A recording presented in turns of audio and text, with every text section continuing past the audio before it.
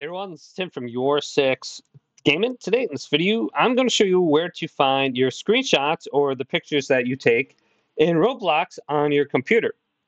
So if we go up to this little symbol right here and we go on over to captures and we take a screenshot by pressing like Alt plus one, well, we can see in here and we can download it to my computer. So let's go to this file right here and download it to my computer. It says save to device, open files. So just go to where it says open in files and it should open up File Explorer on your computer. And I'll drag the File Explorer right here so you can see it.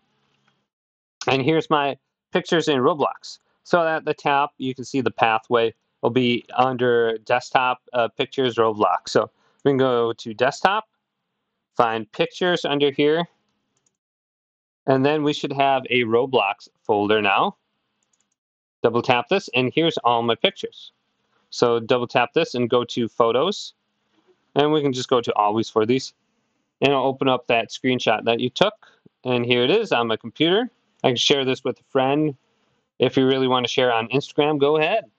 But hopefully this video did indeed help you out. Did leave it a bit thumbs up and subscribe my channel down below for more tech videos coming up next on Your Six Gaming.